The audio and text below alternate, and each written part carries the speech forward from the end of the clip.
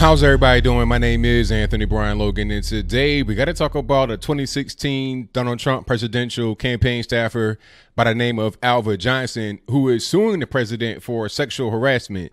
She said that he forcibly grabbed her by the shoulders and kissed her on the mouth. Unfortunately for Miss Johnson, we have video of this particular incident. And what I'm gonna do right now is go ahead and roll it. In this clip, you'll see the so-called shoulder grab and the so-called kiss. After we see that, I'll talk about what was in the video. I'll talk about what this means going forward for other people. I'll talk about Donald Trump in general. Then I wrap it on up with a nice bow on top. So without further ado, let's go ahead and roll it. And I've left my family for eight months for you. Aw, thank you. Aw, thank you. Eight you. We're gonna get you into the White House. I'll see you in February. Got you, Indiana. We'll get you through here. I'm not gonna see you again. Okay, so you saw that. You saw the same thing I saw. Now, was that a forcible kiss on the mouth? I mean, come on. That's what Trump always does. The air kiss on the side of the cheek. That's some Hollywood type stuff.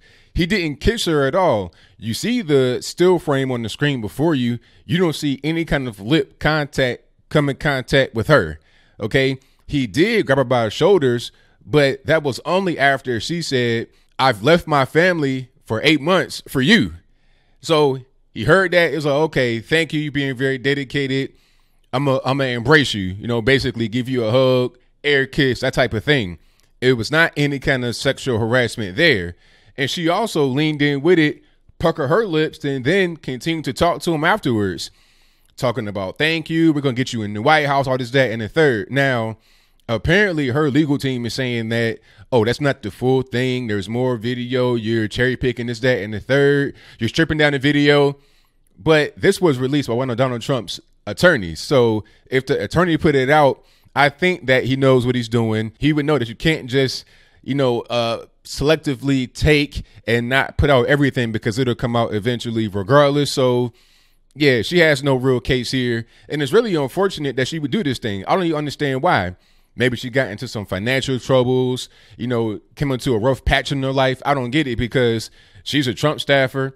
Like she said, she had been on the road for like eight months, left her family, all of that, to try to get Trump in office. You have on the Trump hat, Trump shirt, Trump everything.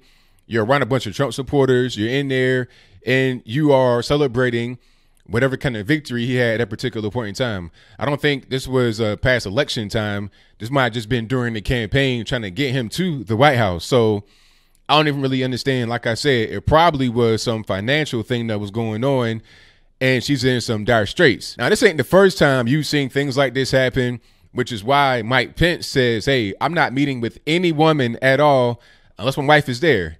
Because I don't want anybody to come out later after we didn't had a nice productive conversation. Everything was on the up and up. You claim to be my biggest fan you claim to love me all this and that and then you want to say oh well he touched me inappropriately. He kissed me inappropriately. He was saying inappropriate things. Nah that ain't gonna happen. If i'm gonna meet with you i'm gonna have my wife right there. So eh, like i got a witness right here everything's on the up and up and matter of fact i will record all of the conversations all of the meetings on video, which is the same thing that Donald Trump had right here. That video came out and it clears Trump of any kind of wrongdoing. There was also a guy, I forget his name, but I placed him on the screen before you. He said he did not want to talk to a female reporter unless they were a man there with her. You know, it said, it said it's the Billy Graham rule. You know, people in the comments joking and laughing, all this and that, but no, nah, he's dead serious. I don't want to risk anybody thinking that I'm doing anything inappropriate. So I'm going to have you be with a man. So it ain't you by yourself and you try to say, I did this and this and this. Because let's be clear, there are real examples of sexual harassment, of sexual abuse, or whatever the case may be. Those things actually do happen, but they get soiled up by false allegations from people trying to make money, trying to be vindictive, trying to settle the score, having to change your heart later on. You know, you might have been a bigger Trump supporter in 2015 and 16, but something happened in your family and people are convincing you otherwise. Now, all of a sudden, you want to be a Trump hater. So you put this false allegation out there, and it needs to stop. The same thing went on with Christine Blasey Ford and Brett Kavanaugh. And then you had Congress, people in government talking about, oh, he shouldn't be confirmed because he's a sexual abuser, a sexual harasser with no kind of evidence, none whatsoever. Now, fortunately for Brett Kavanaugh, he had evidence. He had calendars that were basically like a diary that says, okay, I'm here this day, I'm there that day. He had people that supported him. I think there were like 50 or so women that got on stage, on camera, and defended him. They wrote letters, they did all of that. Christine Blasey Ford, on the other hand, nobody was able to corroborate her statement. Nobody, not even her friends that she said were there with her at this particular party where the so called sexual harassment or rape or whatever happened. None of her friends backed her story up.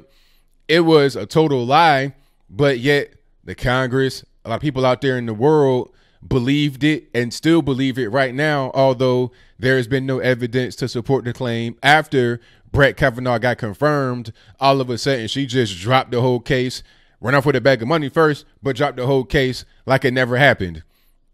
This tool to say that somebody did something and there's no evidence of it happening a, a, woman saying that a man harassed her or raped her or whatever gets abused way too much. And like I said, you do have these things actually happen in real life, but when you have those that are pretending that it happened, that are trying to weaponize a false event to attack somebody, that makes actual incidents of sexual harassment and rape become much less believed right away when they probably should be at least investigated. It's already going to be a cloud of doubt right there because you don't know if this person is being honest and truthful and wants you to really discover some information or if they're trying to be vindictive and hurt somebody with a false allegation.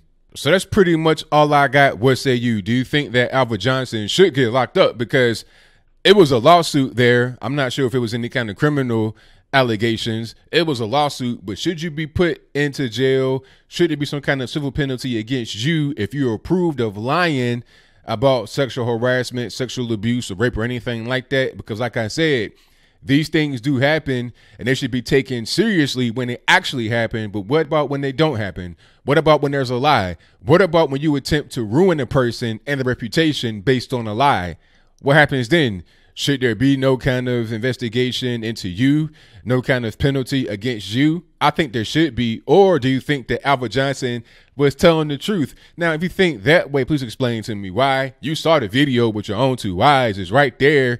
That's her. Her team is not denying that that's her. They're saying that there's more information, but her allegation about the shoulder grab and the kisses right there.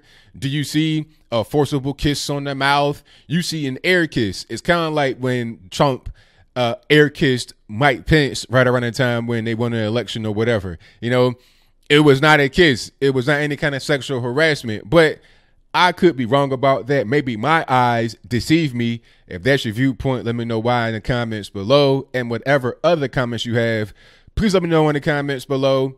And that's all I got to say for this video. If you like what you heard, please comment, rate, share, and subscribe. Peace.